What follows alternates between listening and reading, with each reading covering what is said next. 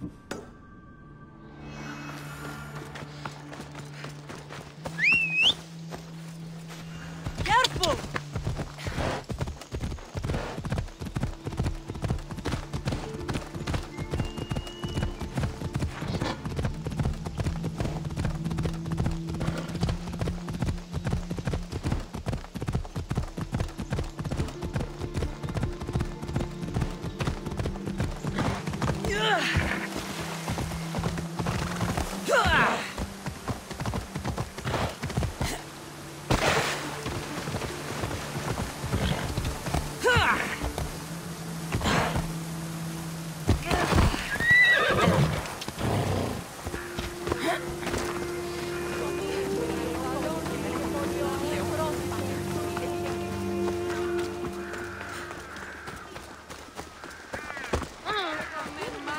Τις κάπρος είναι μεταξύ των... Tell me to make the weapons, but do any of them ask if I know how? Oh, who are you? A mercenary hired by the village magistrate. Oh, that explains why I don't know you.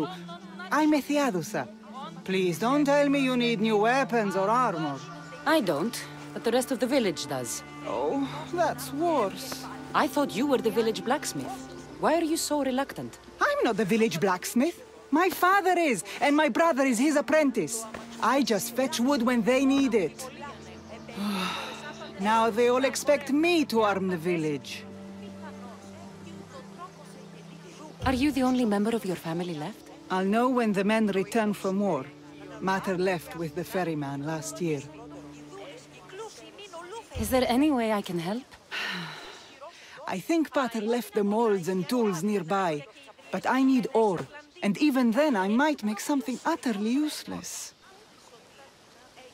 You look capable enough to me. There's a difference between knowing how to do something with your mind and knowing how to do it with your hands. Fair enough. What kind of ore do you need? Any kind of ore will technically do, but But? my pater used a legendary ore when making a dagger for my mater. It is called Aphrodite's ore. Sounds strange, but it's true. How did the ore get its name? The legend says Hephaestus, god of the forge, found this ore and used it to make a helmet for his wife, Aphrodite. She loved it for its color.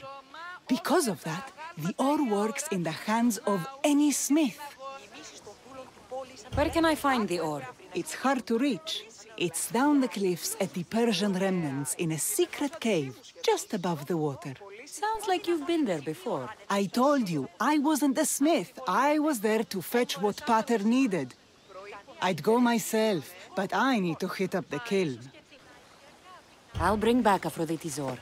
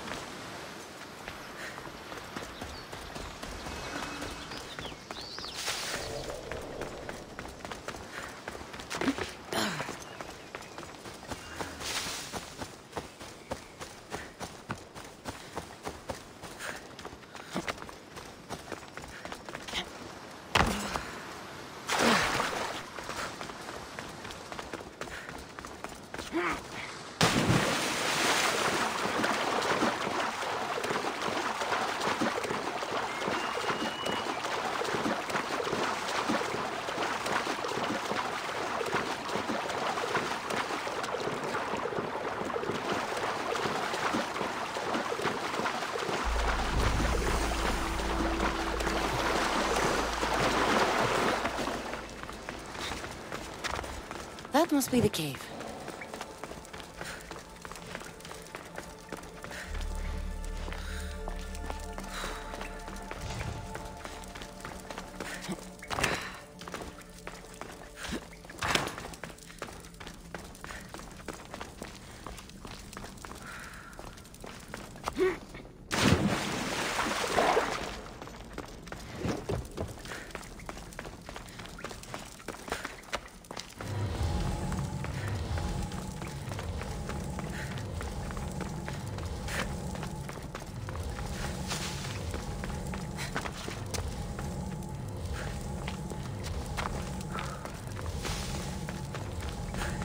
Can see why this ore is named for Aphrodite.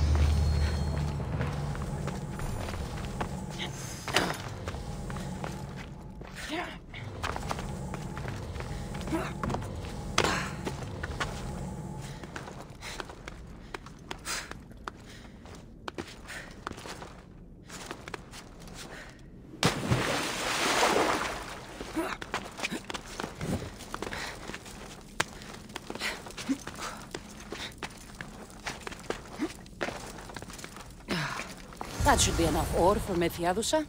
Time to head back.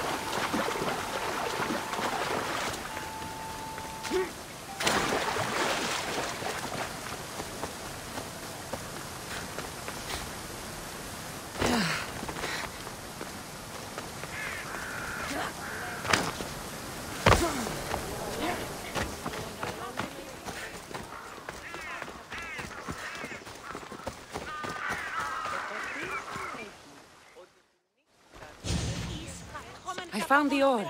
Amazing. I'll ready the molds. Will that be enough for the village? It should be a good start. Oh, that reminds me. I have a problem. You and the rest of Lalea. I'm just one smith, and I can divide my time between making weapons and armor, but it will slow down the process.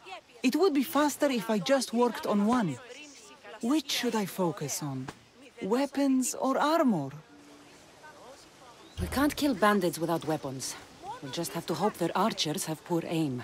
Yes, you're right. Your confidence gives me hope. Thank you for your help. I've done all I can for these women. Time to get back to Perictione. Έγνον δι από φράση μέρα η Ολέγριο, τι το ποιήσεις. Που αισθάνονται